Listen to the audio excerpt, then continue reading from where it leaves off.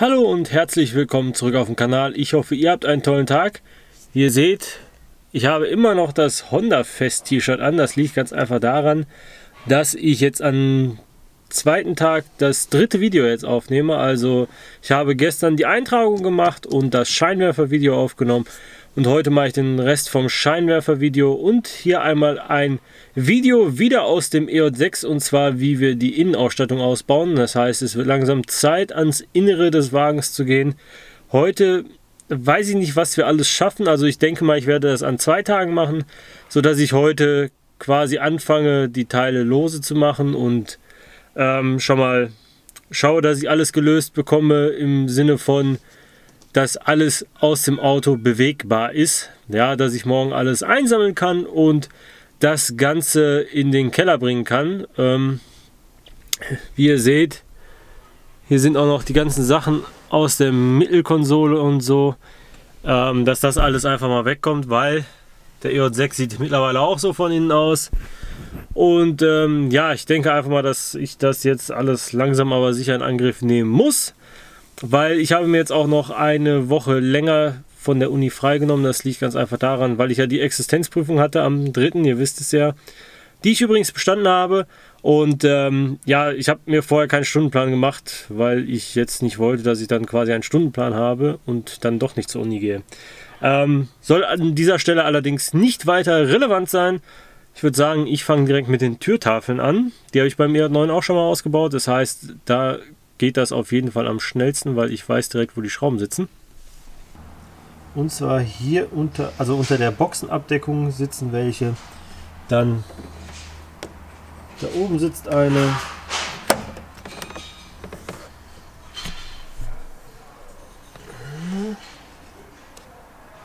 Hier drin sitzt unschwer zu erkennen eine. Sind also sind also ein paar Schrauben, die man lösen muss, um die Tür, um die, es sind also ein paar Schrauben, die man lösen muss, um die Türpappen abzukriegen. Lohnt sich allerdings, ja, weil ich möchte die Hochtöner haben, die der EJ6 aktuell verbaut hat.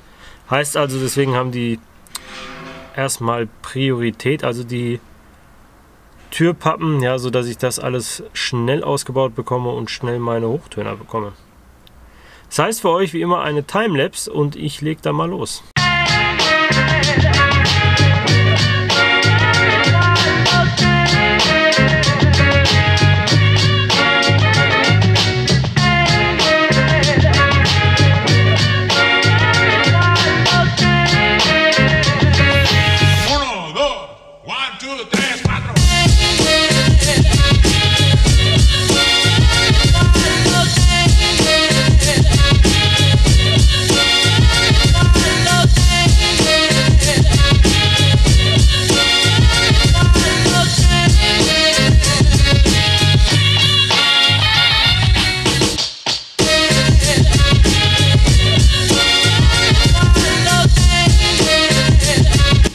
Unschwer zu erkennen. Nummer 1 ist raus. Ja, also die Türtafel ist schon mal weg.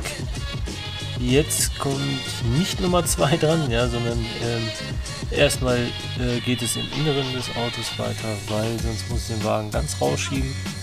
Und das geht aus verschiedenen Gründen gerade nicht. Ja, als nächstes muss deswegen die Rückbank dran glauben. Ich habe die jetzt schon mal umgeklappt.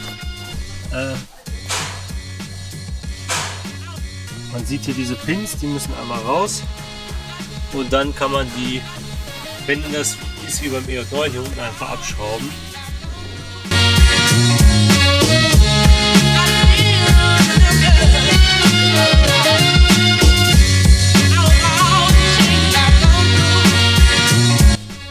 Ja, und wie zu erwarten ist hier einmal ein Verschraubpunkt.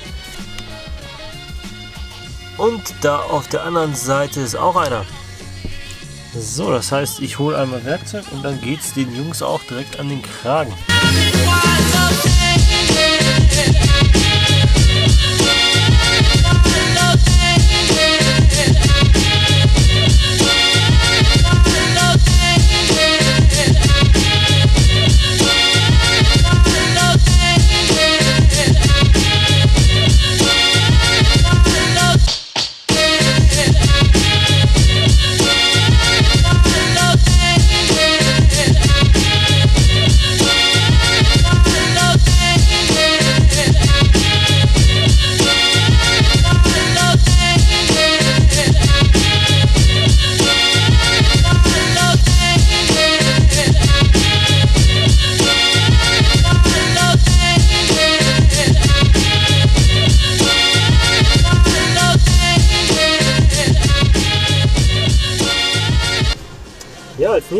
Untere Teil der Rückbank dran.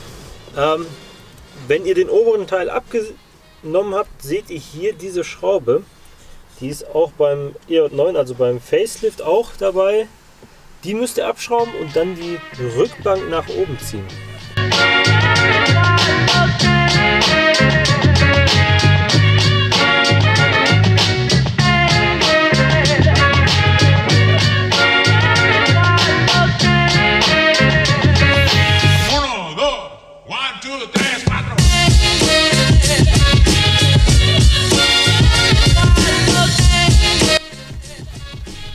Das sind also einmal die Metallstifte, die die Rückbank, also das Unterteil der Rückbank halten. Und unschwer zu erkennen haben wir ein bisschen Geld gefunden. Da, da, unten und hier vorne. Da unten sieht man 10 Cent. Und für alle, die sich fragen, was das ist, das ist die Abdeckung der Benzinpumpe. Heißt also, wenn ihr auch daran müsst oder wenn ihr irgendwann mal daran müsst, müsst ihr auch erst die Rückbank ausbauen. Übrigens habe ich diese schicke Mütze von Vladi gekriegt, der mir das Auto ja verkauft hat. Die hat er mir quasi geschenkt und ich spüre was. Ich spüre was. Mein Name ist Vitali und heute ich baue aus Innenausstattung aus Civic. Habe gefunden Geld. Nur 3,19 Euro. Zu wenig für Wodka. Suka, blöd. Also ihr merkt schon, ich sollte die Mütze nicht allzu lange tragen, ja, sonst äh, geht mein Russisch mit mir durch. Verdammt! Ähm, nichtsdestotrotz, ich habe versprochen, die Mütze das ein oder andere Mal bei Videos zu tragen. Das werde ich natürlich auch tun. Einfach nur für den Entertainment-Faktor. Und nein, ich habe die vorher nicht sauber gemacht, nicht desinfiziert. Das heißt, wenn ich gleich eine Spinne auf dem Kopf habe, wisst ihr Bescheid. Ja, also ähm, die Rückbank ist jetzt soweit raus. Die vorderen Sitze noch nicht. Das hat auch den Grund, weil ich die jetzt sowieso alle nicht abtransportieren kann. Ähm, ich packe also die Rückbank gleich wieder rein. Die Türpappe oben drauf, sodass das zumindest schon mal fertig ist. Und für euch wird es gleich sein, für mich wieder ein neuer Tag, wo ich das Ganze dann zu Ende ausbaue und in den Civic packe und quasi nach Hause bringe. Nichtsdestotrotz will ich hier gleich noch den Außenspiegel abbauen. Ja, weil ähm, die Außenspiegel sind auch quasi schon verkauft. Und das heißt, ich muss dann natürlich gucken, dass ich die Teile nach und nach ausbaue, weil ich will ja auch damit quasi mein Geld wieder reinholen. Und die gehen übrigens ähm, nicht weit weg. Ja, sie kriegt Philipp mit seinem Civic. Und das heißt, er kriegt noch den Kabelbaum dazu und dann sollte das ohne Probleme passen. Ja. Ja, für euch geht es dann gleich weiter, wie schon erwähnt. Und ich lege jetzt die Kamera beiseite und gebe noch ein bisschen Gas, räume hier im Auto noch ein bisschen auf. Und äh, ja, mache den Außenspiegel dann gleich noch ab. Und da verpasst sie nun wirklich nichts. Da sind nur einmal diese drei Schrauben. Dann wird er rausgezogen, ausgesteckt habe ich ihn schon. Also ihr verpasst dann gar nicht so viel. Ja. So, es sind einige Tage vergangen seit dem letzten Video, beziehungsweise seit der letzten Aufnahme, weil ich noch mal eine, einige paar Tage weg war. Man sieht, die Seitenverkleidung hinten ist raus. Das habe ich allerdings nicht gefilmt. Das liegt ganz einfach daran, weil das eigentlich auch gar nicht geplant war, die rauszunehmen. Und zwar habe ich ja die ähm, Hutablage direkt mitverkauft zu den anderen Sachen, also zu den Rücklichtern und zu der Motorhaubendämmmatte. Und dann musste ich die allerdings noch ausbauen, die Hutablage. Ähm, und dabei ist mir aufgefallen, dass das gar nicht möglich ist, ohne nicht die Seitenteile rauszunehmen. Damit ihr allerdings up to date seid, wie das funktioniert, erkläre ich euch das kurz. Also ihr müsst einmal, man sieht es hier, also ihr müsst einmal diese Metallführung, man sieht sie hier, vom Gurt abschrauben, ja, die sitzt quasi da unten in dem Loch drinne. Ähm, dann hat das Preface entgegen des Facelift-Modells hier unten noch eine Schraube sitzen. Ja, und der Rest ist eigentlich, ja gut, hier ist noch eine Schraube von der Gurthalterung hinten und äh, hier waren noch irgendwie zwei Clips dran. Ansonsten ist das Ganze einfach nur ziehen. Ja, ansonsten ist das Ganze einfach nur ziehen äh, zu euch halt hin und ähm, ja, da vorne einmal so nach links rüber ziehen. Und was ich halt nicht wusste, ist, dass die Hutablage da mit dran befestigt ist. Also dass quasi die Innenraumverkleidung einmal nochmal in die Mitte des Fahrzeugs gezogen werden muss, um so überhaupt die Clips an der Hutablage selbst lösen zu können. Ich dachte, die sei eigentlich nur aus dem Kofferraum unten mit diesen weißen Clips festgemacht. War allerdings nicht so. Ja, es hat mich natürlich selber ein bisschen gestört, weil ich euch das gerne noch gezeigt hätte. Ist jetzt leider so, ja, ähm, nur damit ihr ein bisschen up to date seid mit dem Fahrzeuginnenraum. Das heißt also, das ganze vordere Fahrzeug ist noch so weit zusammengebaut. Und ähm, ja gut, bis auf natürlich die Türpappe auf der Fahrerseite. Auf der Beifahrerseite hatte ich das Problem jetzt mit der Schraube hinterm Türgriff. Ähm, ich habe die jetzt ein paar Tage einwirken lassen. Ich habe das Ganze von hinten mit WD-40 angesprüht. Ähm, hoffe, dass das Ganze natürlich jetzt auch runter geht. Und ich würde sagen, ich melde mich gleich nochmal, wenn es was Neues gibt. Ich hatte ja eben gesagt, ich hatte Probleme mit der Schraube hier im Türgriff.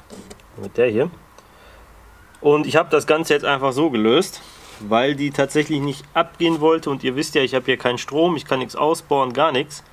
Und da ich das Teil nicht mehr brauche,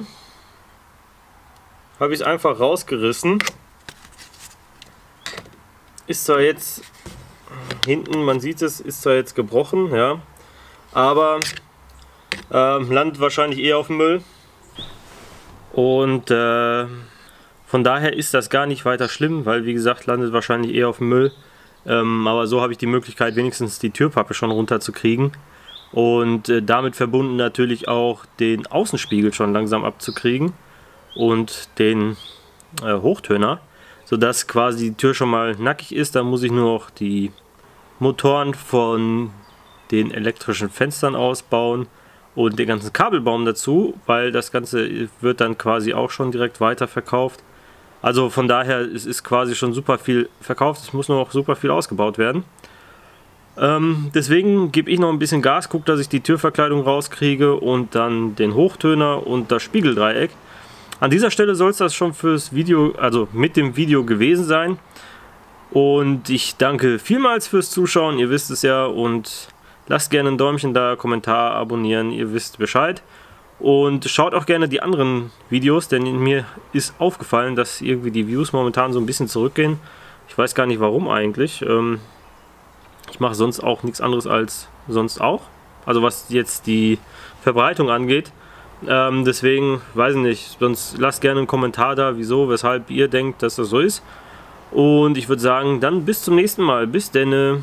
Äh, dann geht es übrigens immer noch weiter mit dem Innenraum vom EJ6, also nur damit ihr Bescheid wisst.